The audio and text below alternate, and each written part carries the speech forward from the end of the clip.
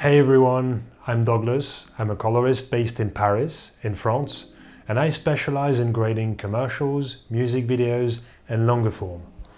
In fact, you might have seen my work on Instagram, I'll leave a link in the description, YouTube, TV, or perhaps streaming before.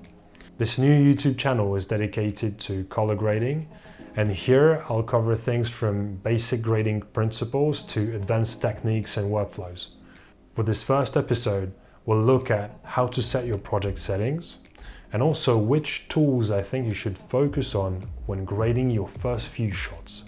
The version of Resolve that we'll be using today is still version 18 because version 19 has just been released, it's still in its beta phase, and I'd prefer to wait until it's stable before using it on real world projects. Without further ado, let's dive in. Alright guys, so welcome into the color page of DaVinci Resolve. It's really dark in there, but I'm gonna try and shed a bit of light in the darkness and I'll start with giving you a little tour of the UI. On the left here, there's your viewer, and it gives you a representation of the clip that you have selected from the strip right below with all your clips. On the right here, there is your node graph. Think of it as your layer stack if you're coming from Premiere or Photoshop. Right below here, there's the different toolset that you have in the program. You've got your primaries, your HDR wheels, there's different tabs that do different things. And today we'll focus on the primaries, and especially lift, gamma, gain, and offset. Down there you've got your scopes, and I encourage you to work with at least your RGB parade and your vector scope. Now let's have a look to our project settings, and let's click on the little cogwheel that we have at the bottom right hand corner here. So I am in the master settings right here. Timeline format, I'm currently set to HD, but if your project is UHD or 4K DCI, for example, that's where you change it and you select the right resolution from the drop down here. Video monitoring, I'm set to HD because my timeline is set to HD. If it was set to 4K, for example, I'll pick a matching preset from here. Data levels I'm currently set to full because my pipeline expects full levels.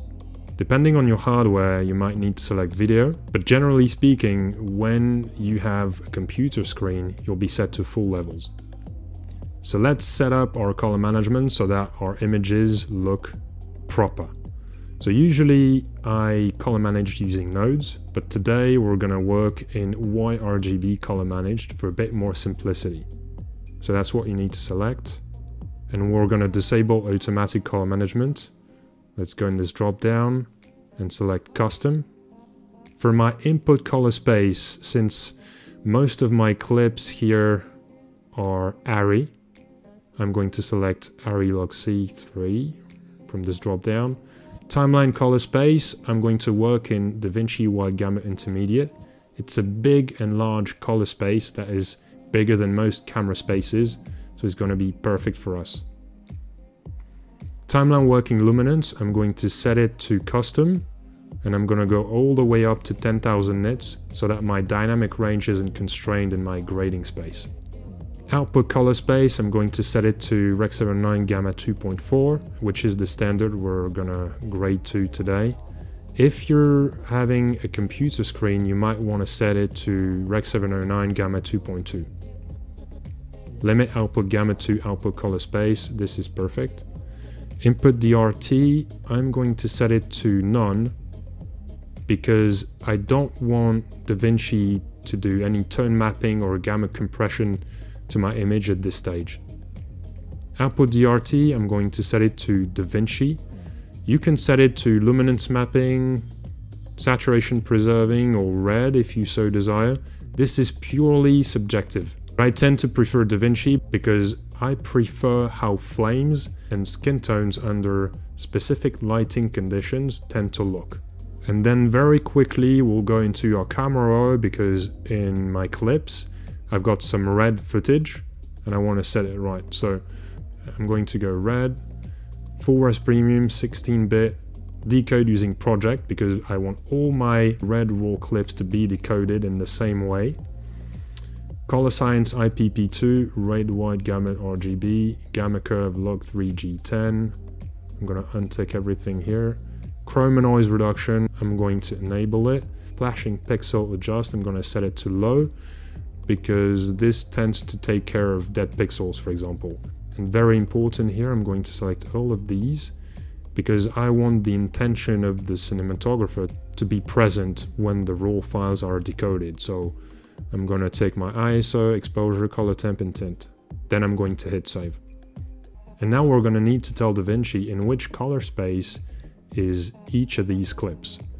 So I know that this one and this one are ARRI log C3, so I'm going to make sure that it's what is selected here. Okay. These are R3Ds, so red raw. Actually, because I'm working color managed, DaVinci is detecting automatically the input color space for these clips. So I don't need to set it here. Actually, it does it for me automatically. There's no option for me to do it. And finally, we've got a Sony S-Log3 clip.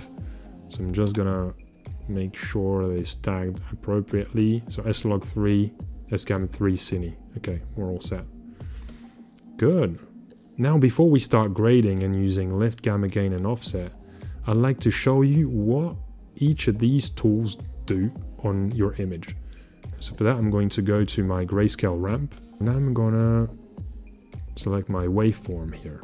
And we see that we have a big fat S-curve here. And this is my output transform from my color management that enables that. So I'm going to disable it really quickly output color space I'm going to set as same as timeline so that it's basically not doing anything. And now we have a straight line. So it's going from pure black, which is zero here, to pure white. Right now, DaVinci isn't doing anything to this signal, okay? It's a pure straight line. So I'm going to create a new node and I'm going to work with my offset right here. So it's this tool. So if you drag the ring from down there, you'll see that it's doing something to my ramp. And I'm going to do it with my panel. And you see how this ramp is moving. It's moving in a linear way. So the relationship between the black point and the white point is preserved. And this is like opening and decreasing the iris in my camera. Now if you pick the center point from your trackball here, and you drag it left to add some yellows, this will be like warming up the white balance of your camera. And if you drag it right to the blues, it'll be like cooling off the white balance of your camera. And in fact, you see the waveform here change when I move my offset. Now let's go to gain. So it's mostly affecting the highlights, but not only my highlights, it's also affecting the rest of my signal, except my pure blacks. Now let's go to my lift right here. And it's doing the opposite. It's mostly affecting my blacks and my shadows and less so my highlights. And it's not affecting my white point. And now let's go to my gamma wheel. Totally different. So it's not, as you see, it's not preserving the linearity of my signal.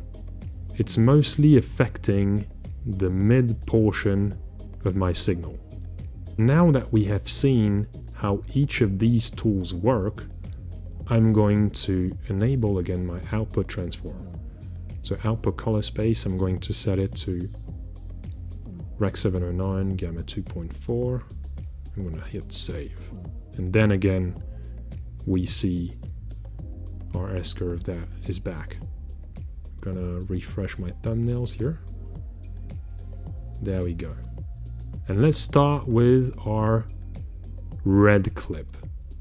So I'm going to create two additional nodes. I'm going to label this one exposure The next one, I'm going to label it white balance. And the last one, contrast. And we're gonna go really simple today. I'm going to apply this node graph to the rest of my clips. So I'm going to select the rest of them, right click on this one and go apply grade. And now each of these clips have the same node graph. So back to my shot. Let's toggle back to my RGB parade. Good. I'm going to use my offset right here. And I'm going to shut down the iris of my camera just a little bit, like so, before, after. In my white balance node, I want to add a little bit more color separation between the tones of my image. So I'm going to cool off a little bit my white balance using my offset right here until I feel like it feels the way I want to go for this shot. Good. Now I'm going to select everything, disable, enable. So this is before we touch the shot, this is after. So now let's go to our Sony clip.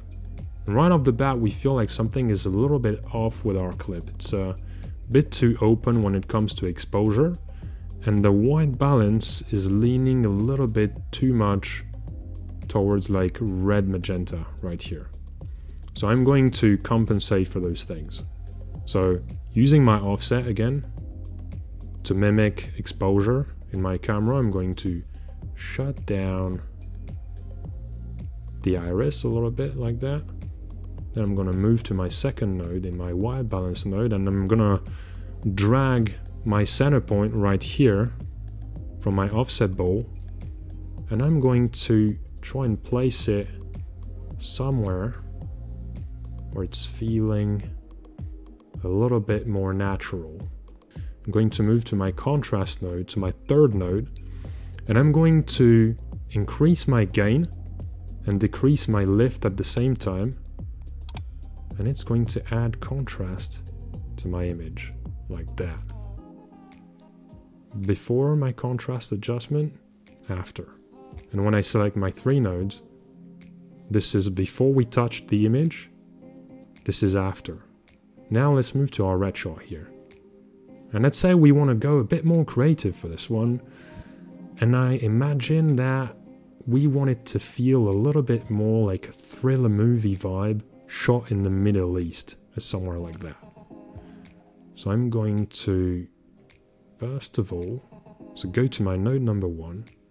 I'm going to shut down my offset just a little bit like that before after.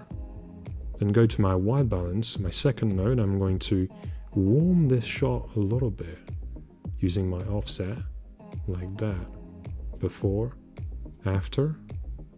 Then I'm going to go to my third node and I'm going to play with my contrast. So I'm going to stretch my gain up, gamma down a little bit, lift up, gamma down. Okay, before, after. So I've added a little bit more pop to this image. Now I'm going to select those three nodes. I'm going to go before, after. Whole different vibe, right? So you can use those tools, those primaries controls, in order to get a more creative look as well. Now let's move to this shot. Seems properly balanced, but in terms of exposure, might be a bit too open, so I'm gonna go to my exposure node again and drag my offset down until I feel it's better before, after. I'm gonna go to my contrast node and I'm going to drag my lift down, gain up a little bit. Yeah. And now we have this other shot, which is a different angle from the same scene and we see that they don't match. So I'm gonna try and get them closer. So for that I'm going to grab a still of this shot. I'm going to go to my gallery, right click and hit grab still. So it's saving a snapshot of this still. I'm going back to my red shot and I'm going to play the still. You hit that button right here and I'm going to drag the wipe so that it's covering everything. And you see that these shots do not match. The other shot is leaning a lot more towards like red magenta. You see that in your vector scope right here. So I'm to try and align them a little bit more. So go to my second node. I'm going to use my offset again and move my color balance towards the green tones to compensate for the mismatch, like so, before, after. And now I'm going to go to my third node, my contrast node. I'm going to stretch my gain and my lift like that so that they align a bit more in contrast. Now if we go from one shot to the next, we'll see that I cut out a lot better. Okay, now this shot. Beautiful looking shot. Let's see how it feels if in our white balance node we go a little bit southwest and go towards green a little bit. Before, after, feels much better to me. I like it. Okay. Let's park it here. Eighth shot. So we've got some kids playing with paint powder somewhere in India, I guess. And let's try and get a bit more color contrast for this one. So I'm going to go to my white balance node and I'm going to cool off this shot going southeast a little bit. Before, after, somewhere like that. Could be early morning or something. Can see more separation between the tones of my image. I'm going to go to my contrast node and I'm going to stretch my gain.